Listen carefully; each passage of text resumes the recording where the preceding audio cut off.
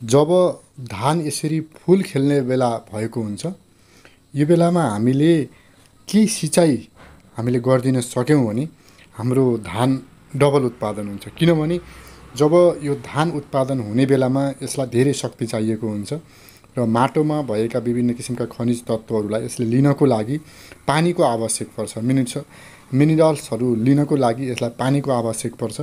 सिँचाइ हुनेसाथ यसले माटोमा भएका सम्पूर्ण तत्त्वहरूलाई लिन सक्छ र धान फुल्दा पनि फुल्दैन टुप्पैसम्म गेडा हाल्छ धेरै जमिन सुक्खा भयो भने धान कम फल्छ। त्यस कारणले गर्दाखेरि हामीले सिँचाइको व्यवस्था कुलोको व्यवस्था छ भने तपाईँको धान हल्का फुल्ने बेलामा सर एक दुई दिन सिँचाइ गरिदिनु भयो भने धान धेरै फल्छ। लाइक सब्सक्राइब कमेन्ट गर्नु होला धन्यवाद।